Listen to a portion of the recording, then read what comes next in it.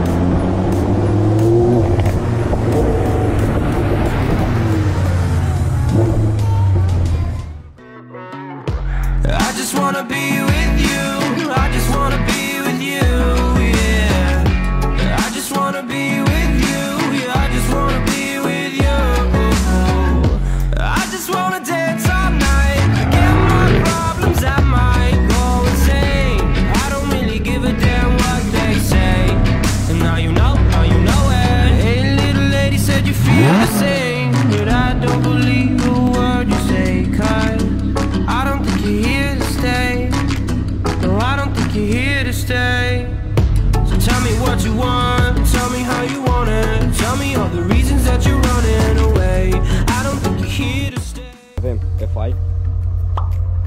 Evacuarea este full de la FI Exhaust cu downpipe. Apoi a urmat body kitul de la Zacloi Performance.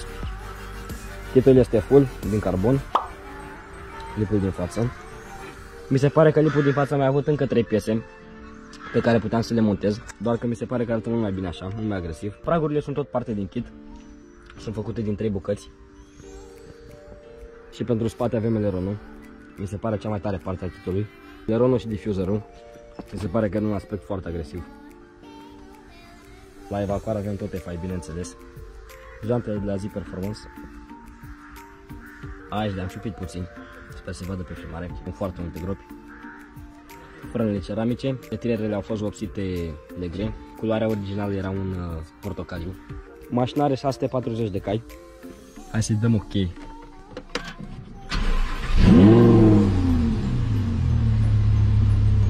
Valvele se deschid automat de la 4000 de tone în sus sau spor.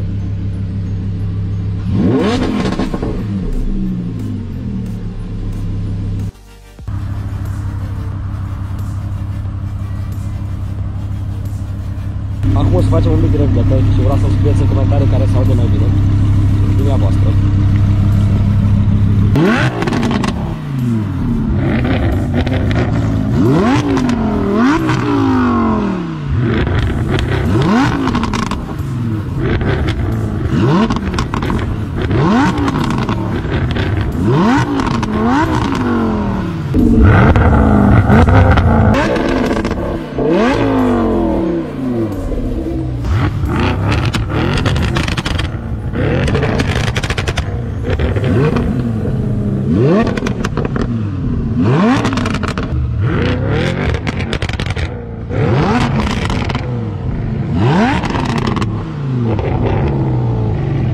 Yeah.